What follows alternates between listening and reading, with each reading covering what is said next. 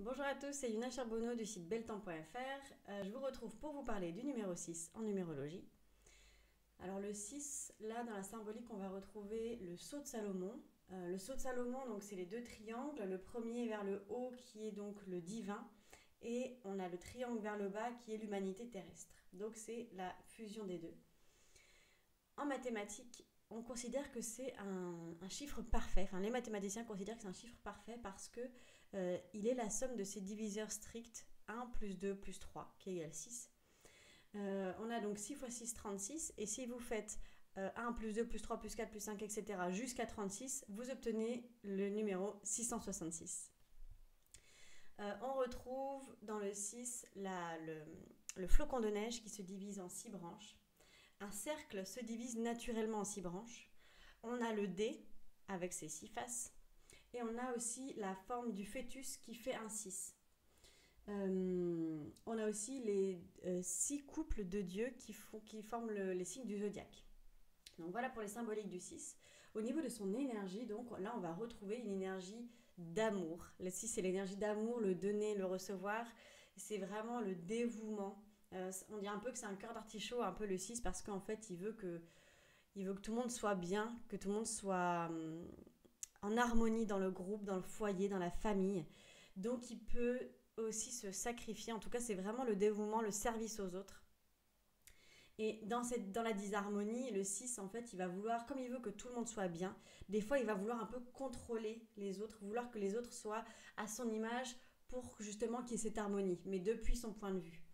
Donc le 6, il va falloir vraiment qu'il harmonise, euh, qu'il prenne soin de lui, d'abord, pour, ne pas qu'il se sacrifie euh, envers les autres à ses dépens. Et donc, du coup, qu'il soit vraiment dans un amour euh, qui, qui, qui, donne sans recevoir, voilà, mais qui se donne à lui aussi. Parce que, donc, ça, dans cette énergie 6, euh, quand elle découle d'un 33, l'énergie 33, elle est, elle est, porteuse de cette énergie-là, mais pour pouvoir incarner cette énergie 33, on va vraiment devoir ne, ne, plus contrôler les autres et être perfectionniste. Parce qu'en fait, c'est dans un idéal humaniste, utopiste je veux que tout le monde soit heureux. En fait, je veux, je veux vraiment qu'il y ait euh, un monde comme euh, qui soit rempli d'amour.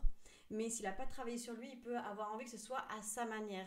Et donc de vouloir un petit peu être... Enfin, il pourrait être très critique en fait envers les autres et se dire qu'ils sont pas assez bien pour justement créer ce monde parfait. Et quand il a euh, guéri ces, ces énergies-là, le 33, quand, enfin le 6, quand il découle d'une énergie 33, il est vraiment un leader sur, sur plein de plans parce qu'il émane vraiment cette énergie d'amour et donc il inspire les gens, de par cette énergie-là euh, de, dévouement et de service aux autres. Le 6, c'est vraiment je, rends service aux autres et je veux que les gens soient bien. Donc voilà, c'est une très très belle énergie de, de, don de soi, d'amour. Euh, voilà, il peut être euh, dans la disharmonie, il peut, ça peut être difficile parce qu'il peut être sensible à ce que les autres vont penser de lui. Parce qu'il va être un peu à fleur de peau comme ça, hein, le, cœur d'artichaut, donc il va, vouloir être apprécié. Euh, mais quand justement le 6, il va falloir vraiment qu'il se donne de l'amour à lui pour pouvoir ensuite vraiment rayonner ça. Et là, il va avoir un rayonnement euh, qui va être de, de, plus en plus grand. voilà. Est-ce que j'ai oublié quelque chose Dans le 6, on a les responsabilités, les, donc les responsabilités professionnelles, personnelles. Donc c'est quelqu'un qui va rechercher l'équilibre, l'harmonie, la stabilité le, bien-être, le bien-être de soi, mais du coup le bien-être des autres. Donc c'est vrai que dans un groupe, quelqu'un qui a le 6, bah, en fait c'est vraiment précieux parce qu'il va vraiment il va tout faire en sorte que, que le groupe soit bien, que le groupe soit euh, en harmonie justement, et donc dans, dans un bien-être. Si je dois retenir trois mots pour le 6, euh, ce sera l'amour, ce sera le dévouement et ce sera l'harmonie. Dans cette, recherche toujours donc du coup d'équilibre hein, qu'a le 6. Voilà, donc je vous retrouve pour la prochaine vidéo pour vous parler du numéro 7.